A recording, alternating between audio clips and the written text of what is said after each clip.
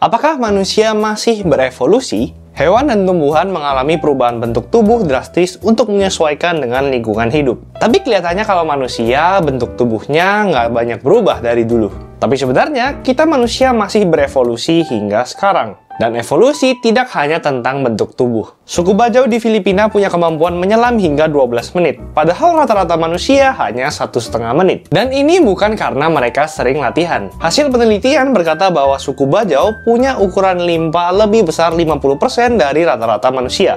Hasil adaptasi dengan lingkungan. Bukti lain, manusia zaman dulu tidak bisa mencerna susu bila sudah mencapai masa kanak-kanak.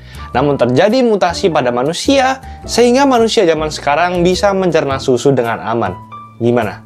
Udah paham belum?